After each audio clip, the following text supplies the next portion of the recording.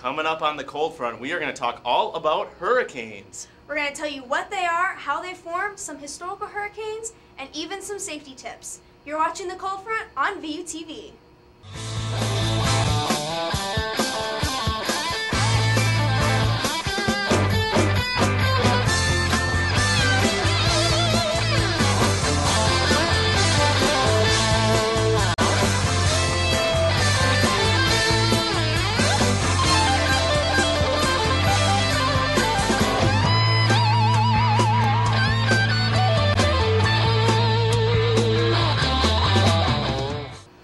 Welcome to season three of the cold front, talking all about hurricanes.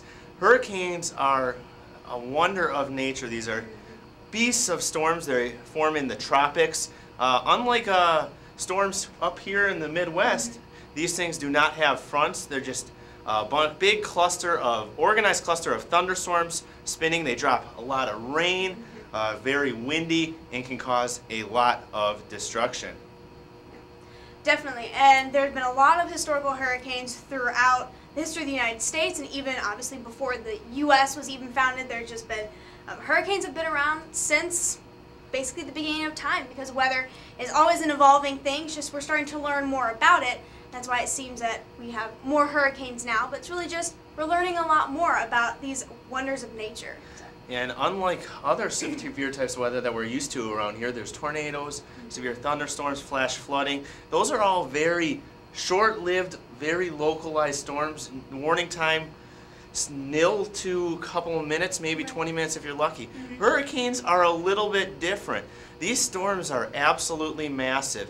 And because of their large-scale nature, you're getting a lot better lead time in warnings, but they affect a much greater area for a much longer period of time. Days on end, in fact, of heavy rain, destructive rain, and winds. There have been hurricanes that have lasted weeks, you know, from the time they developed as what we call a tropical wave or like a tropical cyclone. They've lasted for weeks. I think some of them have even lasted around two weeks. So they are definitely very long lived, whereas, like you mentioned before, like a tornado could last, I don't know, 5, 10, maybe 20 minutes. Hurricanes can last for weeks. So that's definitely a huge difference in that. Yeah, and the, like with a tornado, a couple hundred yards wide.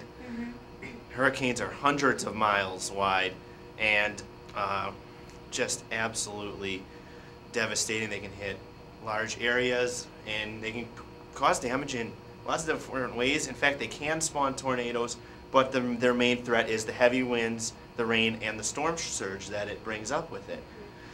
Um, we're going to quick uh, take a little bit of a look at a couple famous hurricanes.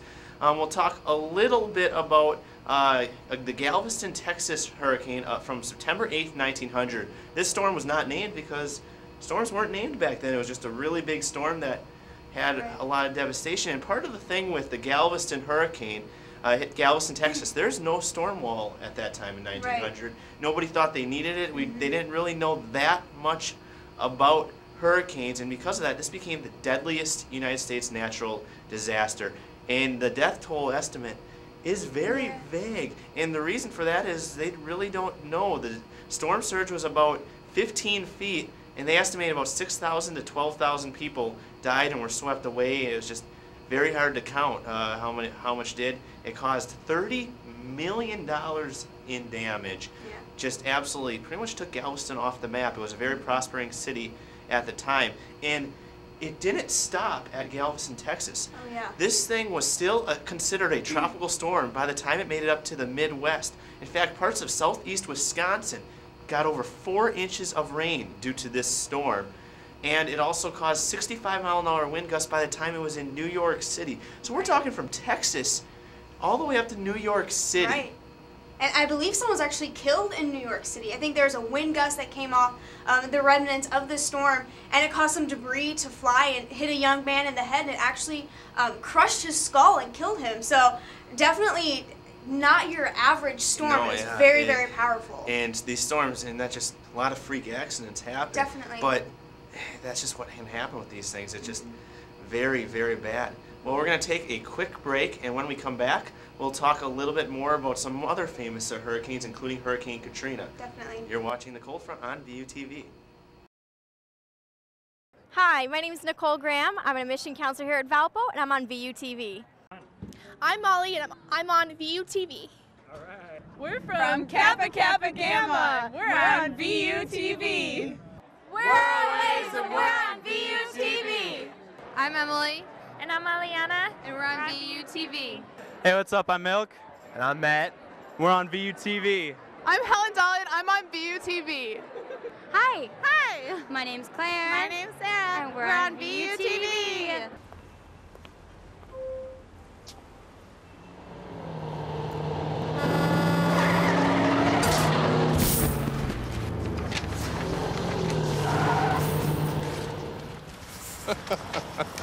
this can't be happening. This can't be happening. Of course it's not happening. Armored car. Listen, having money isn't about luck. Make your own coffee, save a thousand bucks a year. Feed me. Feed the pig. So, are you going out tonight?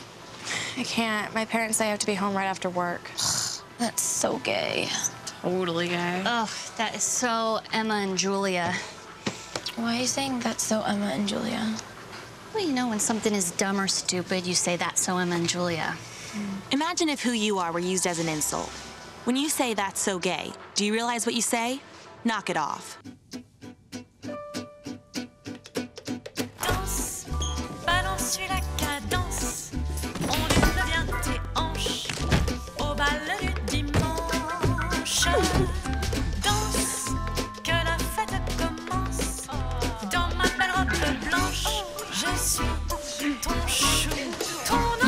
Up on sex. Don't give up on birth control either. There are more methods than you think. Find yours at bedsider.org. And welcome back to the cold front talking about hurricanes. And we talked a little bit about hurricanes before, but let's get right into uh, some real big name ones. And if we think about the very recent past, you have to remember Katrina. Uh, Katrina in August 29th of 2005 was a major uh, Category 5 hurricane for a main landfall in New Orleans. Definitely. Katrina was absolutely devastating in so many ways. You know, we remember her, or we really shouldn't um, call them by her, but, you know, we remember Katrina as this major, historic, um, just hurricane. It actually caused $75 billion in damage. It was the costliest um, hurricane in U.S. history, caused you know, so much that's, damage. That's, you know, what we all remember is just you talk about all these historical hurricanes that happened, but you know, Katrina was one that was right here. We remember it. It's yeah. in a very recent past, so we can use Katrina as kind of a benchmark to look at other major hurricanes in the past. Definitely. Because I remember I was in eighth grade when Katrina happened, and I was interested in weather at that time, and it definitely just kind of, you know, drives in, you know, that interest that you have. Um, we were talking about um, Katrina did reach Category 5 um, status, and that's as high as you can get for a hurricane. You know, there's no Category 6 or anything like that. If you're a Category 5, or if a hurricane is Category 5, I should say, it's a pretty big deal. You know, you don't. And that was a beast. I remember looking at the was, satellite oh my science goodness. class. It was like almost the size of the Gulf of Mexico. It, it was it was huge, and so when we, we see those pictures where um, it was in the Gulf of Mexico, and it's just it it's absolutely insane. And um, Katrina first made landfall actually before she hit or before it hit. Um, New Orleans and the New Orleans, uh, Mississippi coast, um, which is the main landfall that we usually associate Katrina the other with. Thing is it didn't yeah. hit uh, New Orleans directly. It did not hit New Orleans directly. It hit more um, to the eastern coast, is more the Louisiana coast and the Mississippi coast as well. But it first made landfall um, as a very weak Category 1, just turned into a hurricane right before it hit the coast of Florida, um, and that was on August 25th. And just a few days later, Katrina reached Category 5 status, and she had a central pressure of 902 millibars. And that's pretty significant just because, you know, the, we think of Category 5s, they're usually right around, you know, 912 millibars. And you that know, puts put that a little in perspective. If you don't yeah. know what a millibar is, it's a measurement of pressure that we do. Uh, the the average atmospheric pressure on any given day is somewhere around 1,013 yeah. millibars. A low pressure associated with a storm that we think about here, you know, maybe around 1,000 millibars, maybe a slightly below. Mm-hmm. But almost 100 millibars below that is a major drop, and hurricanes do that. But Mhm. Katrina was low for even a hurricane. Oh my goodness, yes, and, and that just proves that how strong that Katrina was. Um, did weaken right before it made landfall. There's, we were talking about before the Louisiana Mississippi coast. Um, was a Category Four, and then it weakened to a Category Three right as it made landfall, and that was pretty much what we remember of Katrina. Um, very, very strong storm surges actually broke through the levees in New Orleans, and that's what caused all the devastating flooding. Um, I believe there was uh, 1,200 people killed as a result of Katrina, so absolutely devastating. And a thousand of those people were actually killed in the state of, of Louisiana, most of it because of that breach in the levee in New Orleans. Um, and there were 33 tornadoes that spawned from Katrina. I mean, you know, that, that And- storm was nothing to mess with. And I think part of that was it's it has been it been a while before Katrina that Yeah. a major hurricane hit a major city, and so there are a lot of people that remember other hurricanes and oh, it'll just blow over. But when you get a hurricane the size of Katrina, if it hits anywhere, it's going to do some damage. It's going to cause death. Definitely. And then when it hits a major city, it's going to do a lot more. There's more people there. And when it hits uh, New Orleans, which is below sea level, so you associate the storm surge, but you also got to remember how much below sea level is, and the levees break, and you get that much more water to come in. It was, I don't like to use the, the term, but the perfect storm to really cause some damage. really and a lot of it, again, people weren't properly prepared for it because it's a lot of times you just don't remember what they can do. And, and unfortunately, Katrina was a very harsh reality check for a lot of people. It really was.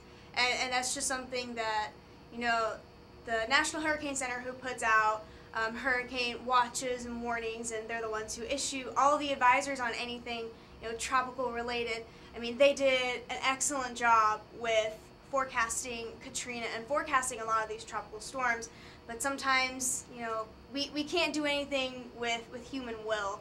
You know, people are either, are either going to leave or they're not. And, and that's the hard part. And I think that's why Katrina was so devastating because there was proper warning. It's not like it happened, you know, it made landfall in Florida, they continued on and gained strength. So it's, it, it- it's, it's hard because they had proper warning and people just chose not to leave, which is hard.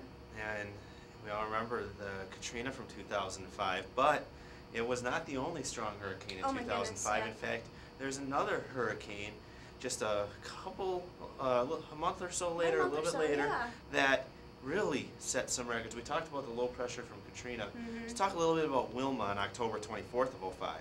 Right. Um, just 2005 was just a very active year in terms of hurricanes. There were actually three Category 5 hurricanes that occurred in that season alone, and that was Katrina, Rita, which most people remember hit the um, Gulf Coast of Texas, and then Wilma, which we're going to be talking about as well. And all three of those reached Category 5 status. So that's pretty significant. But what makes Wilma such I don't know, a significant hurricane or such a rememberable hurricane was it had the lowest central pressure on record. We are talking about how low Katrina's was at 902. Wilma broke the record. Her central pressure was 882 millibars. And that's just, that is crazy because, you know, we were talking about before, you know, an average category 5 is, you know, 9, you know, 12, 9, 13, something like that. So when you get something that's in the upper 800s, that's that's significant. That is a very strong storm. To put that in pressure, or that pressure under to perspective, Mhm. uh, 882 millibars is somewhere around the pressure you'd be feeling somewhere halfway up the Rocky Mountains. Yes. So you know everyone knows that pressure uh, decreases with height, and you know there's lower pressure up in Colorado. Yeah, you have to go pretty far up the Rocky Mountains to get to that pressure. Yeah. So and that's at sea level. And it just shows how massive Wilma was. You know, if you go and you know search images of the satellite image when um, it had the 882 millibar pressure, I mean, it was ginormous. Like it just looks like this huge white mass. It's it's really amazing. Um, and actually, the two other I- guess we would say record-breaking pressures, but two memorable pressure hurricanes were Hurricane Gilbert. Uh, that was back in 1988, and uh, it had a pressure of 888 millibars. And then the Labor Day hurricane, which occurred back in 1939, had 892 millibars. So it's it's pretty significant.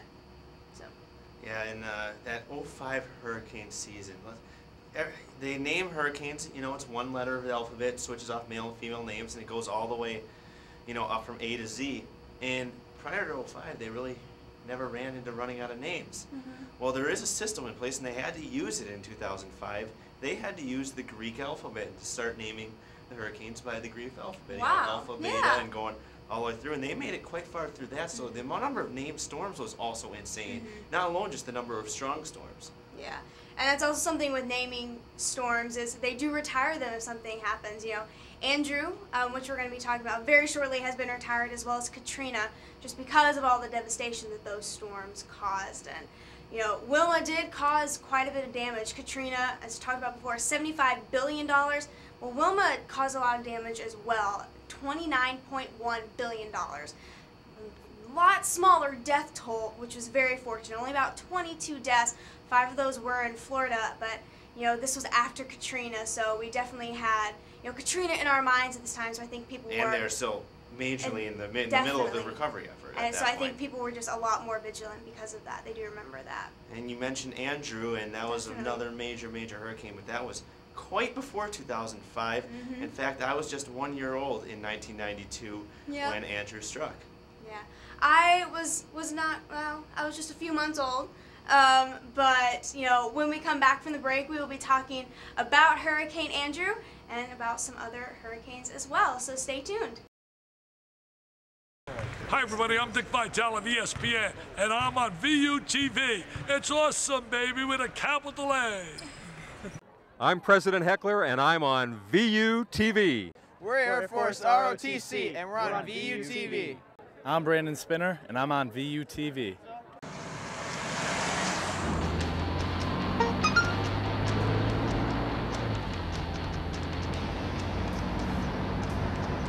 The average text takes your eyes off the road for nearly five seconds.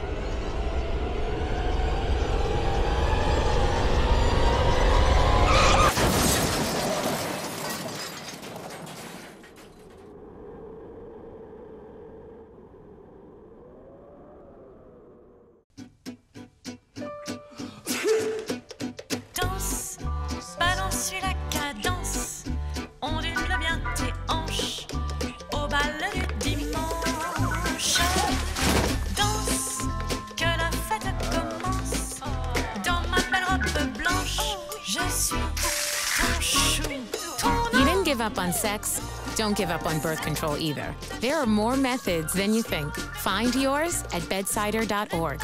Do you like this top? It's so gay. Really? Yeah, it's totally gay. You know, you really shouldn't say that. Say what? Well, say that something's gay when you mean it's bad. It's insulting. What if every time something was bad, everybody said, oh, that's so girl wearing a skirt as a top? Oh, you are. Those are cute jeans, though. When you say that's so gay, do you realize what you say? Knock it off. And welcome back to the Cold Front here on VU TV on our hurricane episodes kicking off season three. Talked about a little bit about the season of 2005 with Katrina Wilma among many others.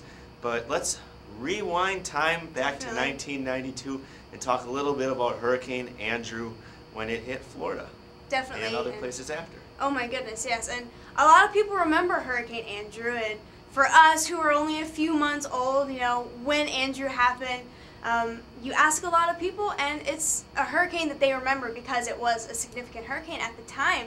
Um, as we talked about, it you know was 1992 when this occurred, um, and very very strong hurricane. Um, its central pressure was 922, I believe. So it was fairly strong. It was a Category 4 when it hit the coast of Florida, which is a major hurricane by any standards. Uh, major hurricane is actually Category 3, 4, and 5. So if a hurricane is making landfall in 3, 4, and 5, it's definitely causing catastrophic damage. But any hurricane making landfall, even tropical storms, can cause a lot of damage. So this is a pretty big deal. Um, when her, uh, Andrew made landfall, actually had um, sustained winds, not gusts, but sustained winds at 165 miles per hour. It had a 17 foot storm surge. Now, when you think about a storm surge, it's basically a big wall of water. And it's 17 feet high, and that's what caused a lot of the damage was the flooding as a result of that. Um, but what's interesting though is back in 2002, they actually reevaluated some of the data they got from um, hurricane reconnaissance aircraft. Basically something if you hear about hurricane hunters, that's what this is. And they looked at that data and they upgraded Andrew at landfall to a category five, which is really interesting. But you, you know, there have been some statements from well-known doctors who um, study hurricanes and Atlantic hurricanes, and uh, they do disagree with it just because a lot of the damage was Category 4 damage. But it's definitely very interesting that they were looking back at the storm, you know, 10 years later, and and still looking at it, and then look, was looking at that data and upgraded. So. Um, definitely still a powerful storm. Back in 1992, caused two, or excuse me, 26 billion dollars in damage, and so obviously there's a little bit of inflation there, but still lots of damage that happened with that. Yeah, Andrew was just one of those other hurricanes that hit. It was major hurricane, but it hit population and it caused a lot of damage just because it hit a major city. Right, and and is one thing though when uh, President Bush Senior was in office, uh, the reason that um, there was actually a lot of like aid from like FEMA and you know national aid that wasn't getting to Andrew, uh, the victims of Andrew fast enough, and many people think that that's why um, President Bush Senior was not reelected. So everything kind of ties in a little bit. It's very interesting. Weather and politics. Definitely, I think that's a topic for, another day. That's though. I think that's for topic for another day. another cold front. Definitely. Well, we're going to take a quick break here once again, and when we come back, we'll have we'll be joined by Dave Caulfield with a little personal story uh, tied with uh, running with a hurricane. Stay tuned to VUTV. We're Valpo Greek Life and we're on VUTV. I'm Rachel Bacher and I'm on VUTV. We're Mock Trial and we're on VUTV. We're Student Alumni Association and we're on VUTV. We're the Acapellas. We're on VUTV. I'm Dave Klein and I'm on VUTV.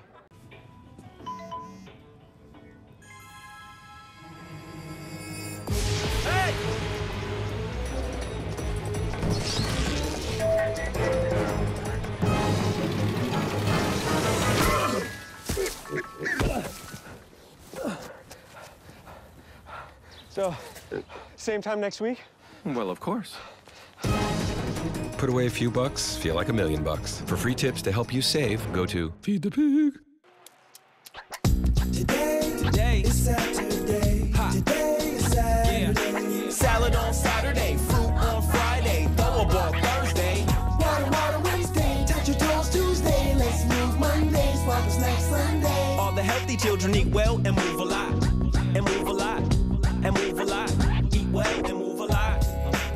60 minutes of physical activity a day and eating well can help get your child healthy.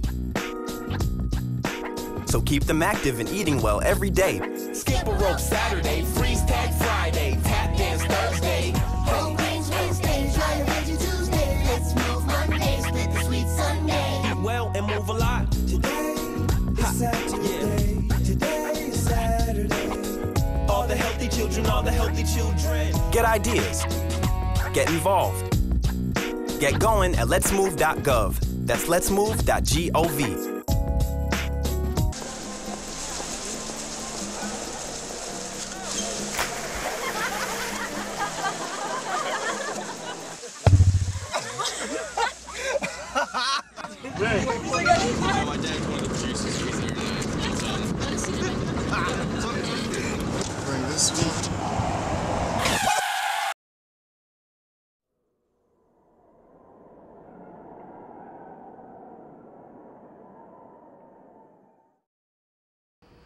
And welcome back to the hurricane edition of the Cold Front. I'm joined by Dave Caulfield here, who his family resides on the East Coast in the state of New Jersey. That is true. And have definitely had to experience some hurricanes, and not necessarily the record-setting hurricanes uh, by any means, but they just because they're not don't have a lot of wind or high central pressure doesn't mean they can cause a lot of devastation and damage. No, absolutely. And I think what you're referring to is back in 2011, my family uh, went through hurricane, or what was hurricane and became tropical storm, uh, Irene. If you don't know about Irene, come on, here you go. It's the fifth costliest hurricane in U.S. history. The only ones above it were names, you know, you may have heard of them Katrina, Andrew, Wilma, and Ike, not necessarily in that order. Uh, Ike was second, actually, hitting uh, Texas. Couple of facts about the storm. Bayboro, North Carolina. Don't know where that is. Don't really care to find out. But still, they got over 15 inches of rain from the storm. That's that's something that you should really take note of. That is a lot of rain. The storm formed. You would think 15 inches of snow would be a Oh, lot. So gosh. just imagine 15 inches of rain. Oh, 15 inches of snow. I mean, oh, if if we got the 15 inches of rain into snow, that would be day after tomorrow stuff right there. But I won't go into that. For, uh, the storm formed August 20th, 2011. Max winds, it only got up to category 3, but still, that's nothing to sneeze at. Max winds were 120, uh, lowest pressure 942, so that's pretty low for a category uh, 3 storm.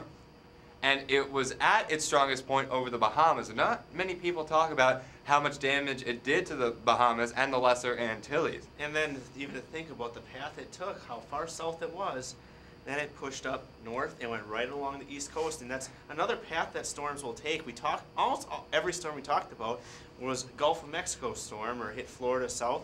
Well, they can get pretty far north too, and they can even affect New Jersey, New York, and Maine, and even Canada. Absolutely. Canada uh, was affected by the storm when it was still uh, tropical. It was a tropical storm, then it went extra tropical. And up to all those northern seas up there, a lot of cold water, so it ended up dissipating. But still, portions of Canada, New England, uh, Vermont, New Hampshire, Maine, it really just hugged that east coast all the way up, and it really couldn't have taken a more perfect path uh, if it wanted to. If it wanted to give the East Coast a lot of rain, which it really did. Um, it first made landfall in the U.S., that is, at Cape Lookout, North Carolina, as a pretty strong Category 1. And then, again, we said it hugged that East Coast. It went up that East Coast, not really making a specific landfall, and made a second landfall in a town that I know very well, Little Egg Harbor, New Jersey. That is an actual town. New Jersey has some funny towns. They have uh, brick and they have wall, and they're right next to each other. So uh, that gives you a little bit of sense of uh, New Jersey. And then another landfall, not with the hurricane because it had become extratropical by then. Tropical storm hit Coney Island uh, in New York. It basically really went up the East Coast as we've been talking about. It hugged it, but if we want to focus on New Jersey, uh, it actually New Jersey was one of the hardest hit states of that whole storm, and Freehold, New Jersey, which is a shore town southeast New Jersey, had the most rain from it, 11.27 inches. That's That's amazing, insane. Absolutely amazing. And Dave, uh, as your family lives so close uh, to Storm, uh, can you give us a little bit of insight on what they went through? And I know I remember last year when you'd be on the phone with them, uh, in, your family had to evacuate their, your home, didn't they? Yeah, they did. They had to stay at a hotel for a couple of days, and uh, it was interesting because when I was looking at the radar and looking at the models, the this the uh, what do you call it? the string cheese models, right? The Yeah. ones that go like that. Um, they they had it going a little bit farther off the coast, so I wasn't that worried about them. But it, it shifted late, and it did affect the whole state of Jersey.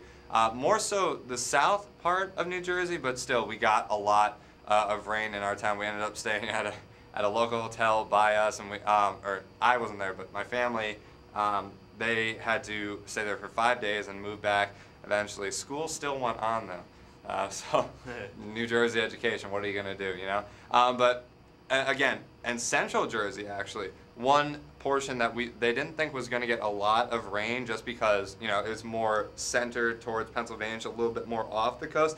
They got a good amount of rain as well. Uh, big cities like Hoboken and Jersey City really were just completely flooded by the storm, and and, New Jersey ended up being declared a disaster zone by Barack Obama right after the storm passed. So, and Dave, uh, so your family had to evacuate. Uh, so, what was the immediate threat to your neighborhood that forced them out?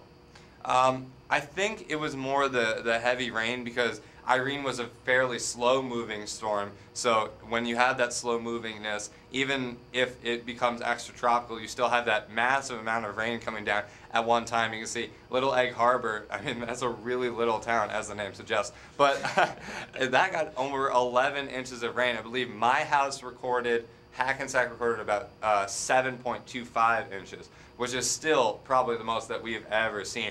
And my basement, Matt, it's it's stuff of legend. I I can personally remember when I was younger when uh, a couple of storms came in. There were nor'easters actually, uh, and shoveling water out of my basement by hand for hours on end. And I, I'm told that's what they had to do as well. So I felt bad that I couldn't help them out. But uh, everybody's all right. Everybody's okay. Uh, there were some trees down in our area, and um, actually someone's house had a tree fall on uh, their roof. So uh, what happened was there was a local collection. They got them on their feet again. So in, in storms like this, it's a really great way of seeing the best in people when they help out uh, others who are less fortunate, who were affected by the storm more than they were.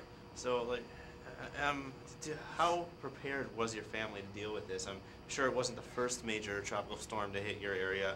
These do happen. Uh, what kind of preparations does your family take? Right. Um, we have a plan, uh, and I encourage everyone watching this to have a plan. Whether they, I mean, New Jersey is one of those places where you never think a tornado is going to happen, right? But we've had a number of tornadoes this year, and even last year, we're seeing more and more. And uh, Brooklyn and Queens, the, the boroughs of New York, they're starting to recognize, hey, maybe the, these batch of down trees is because of a tornado, not just a strong gust of wind. So it's important to have a plan for any type of natural disaster. So what you need to do is stay alert to the weather forecast. That's number one, because we actually do know what we're doing. Maybe not us right now, but the people above us, they definitely know what they're doing. So stay alert uh, to you know certain sites on the internet and on TV, some channels, and also just be prepared to move. And I know Rachel was talking about this as well. If you are called to evacuate, there's probably a good reason to evacuate. And that was so tough in New Orleans because down there, people are so loyal to that town when Katrina had happened. And they had had some near scares in the past where it, it just missed them, so they got lucky. So they're saying that would happen again. It's if you're called to evacuate, please heed those warnings because it will end up helping you in the long run. Even if you lose some possessions, at least you have your own life and the life of your family. Especially when those warnings come out. Those warnings will be out days in advance, and the longer you wait, the more packed the roads are going to be getting out. And that's why you should always have a kit set for you. You should have enough water for everybody, you know, food that won't perish. You should have this all prepackaged. If you have pet or if you need medicine, have prescriptions, you have all that. You don't want to be running around at the last minute to be able to do that. Make sure you have the tools to board up your houses if you need to leave. You you never know. And so if you have all the stuff ready in a big box that you know fits in your car, right. you can get everyone with just the bare essentials and get out of there as fast as you can. So another thing good to know is know the roads. Not maybe not necessarily just the interstates that'll take you directly. Know a couple back highways. Have an alternate route in case it gets jammed. If you have to get out, maybe you don't have to take the route you want, but if you're on the coast, probably a good idea, at least on the east coast, to get west Absolutely. and get north. And that was a problem for some people because they waited to the last minute. And when the storm got through, uh, Garden State Parkway, that's the main road in New Jersey, for those of you who aren't aware, but that's fine. Uh, it was impassable at almost four different points. So, you know, you may get a little ways and you're going to have to take some back roads, as Matt said. So definitely know your surroundings. That's, And that goes, that means having a map in your car. Absolutely. And you never know if the GPS doesn't work To Have it. It's Mm-hmm. great. But maybe have a hard copy of your state map in your car just so you can get far enough to you can get to safety and figure things out from there. You, you, we tell you you have a couple days on the warnings, but we don't warn three days in advance just because. Right. Those warnings are necessary. This is a big storm. It's going to impact thousands of lives. And once that warning is issued, a warning by definition means it's time to act now. Absolutely. So for no matter what warning is issued, if it's issued, the National Weather Service, the National Hurricane Center, these all these places know what they're talking about. They issue a warning, it's time to get out. They issue a watch, maybe that's time to go to your your uh, box, your package that you have, your safety kit. Make sure everything's there. Update it if it's needed to. Your watches. That's when you're getting watch is when you gotta get prepared and keep an eye on things. Warning is the time to act. Absolutely. I couldn't have said it better myself. Well, I guess that will do it for my segment. Uh, we'll be right back to wrap up the show. Stay tuned. It's the Cold Front on VUTV.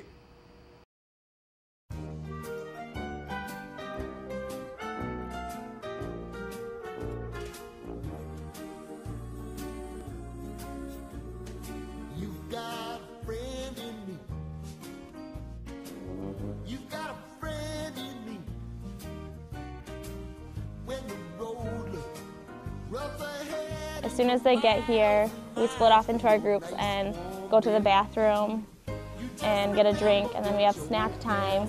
And after snack time, we do an activity, whether it be going to the library, learning about um, different things, either money or college life, higher education.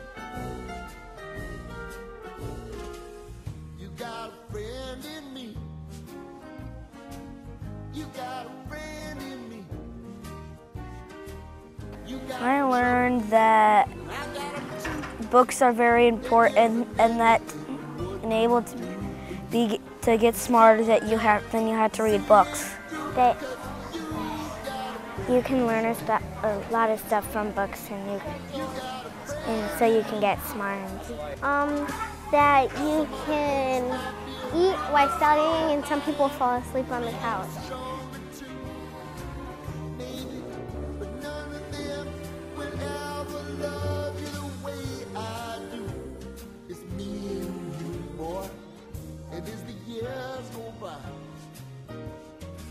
I love spending time with kids and just like hanging out with them, seeing them learn and grow, and being able to help teach them new things.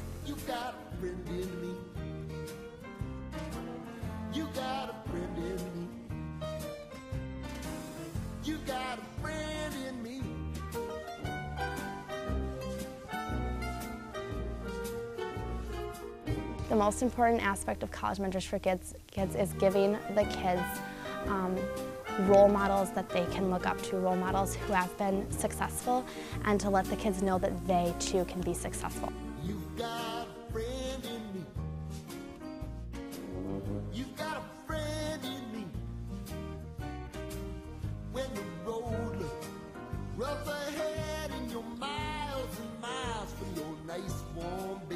My favorite thing was probably today when we went to the library and read books and I got to just like hang out with my little buddy and read to her and it was really fun just to watch her like learning how to read because she's in first grade and she's younger and it was, it was cool. It was bonding.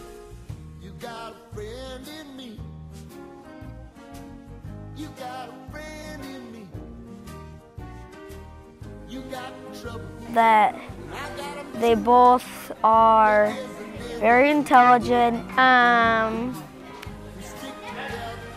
that he's always saying awesome. That um, she is a very nice buddy and she is very fun. Um, my most favorite thing about having a big buddy that you don't have to be scared when you're right by them.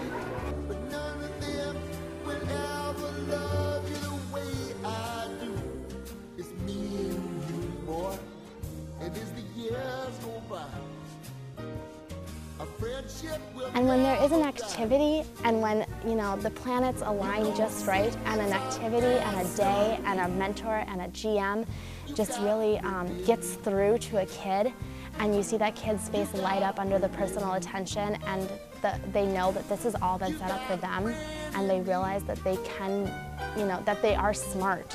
It's great.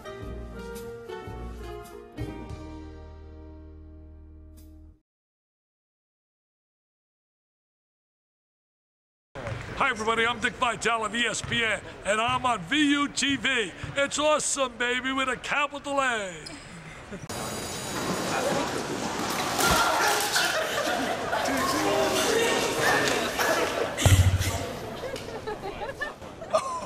Oh, that's low. That's low. That's low and. Look, he's blushing. Seriously.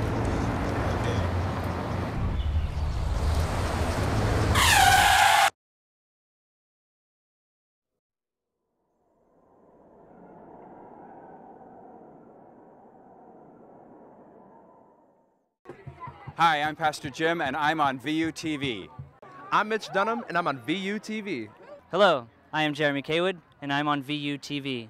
I'm Jonathan Johnson, and I'm on VUTV. We're Sigma Phi Epsilon, and we're on VUTV. Hi, I'm Claire Flesh, and I'm on VUTV. Yo, yo, yo, check out this chef, right? right? That's so gay. That's really gay. Dude, look at those hands. Please don't say that. What? Don't say that something is gay when you mean that something is dumb or stupid. It's insulting. It's like if I thought this pepper shaker was stupid and I said, man, and this pepper shaker is so 16 year old boy with a cheesy mustache. Just saying. When you say that's so gay, do you realize what you say? Knock it off.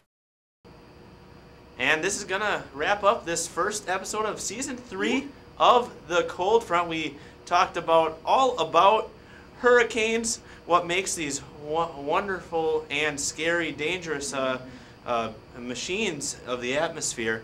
Uh, we talked about a couple of major cases, the Galveston way back in 1900, uh, a couple recent Katrina, uh, Irene, Wilma back in 92, Andrew. Went through a couple of the safety tips. Always keep that in mind. It's better to be prepared and then be able to know what to do when it's time to act and get out of there. Definitely. Um, and if you like this episode, we definitely encourage you to watch us again. We are on channel 82. If you don't know, that is what VUTV is. Um, we are also on Facebook, VUTV Weather. Just go and like us, and you'll see all of our daily weather updates, as well as we will be posting um, all of our episodes of the Cold Front, as well as you can keep up with us on YouTube as well with Valpo VUTV. Um, and you can keep up to date with all of us here at VUTV Weather. And for everyone here, Rachel Duensing, myself, Matthew Schaefer, guest uh, and producer Dave Caulfield helped us out a lot today. Thank you for watching VUTV and the Cold Front.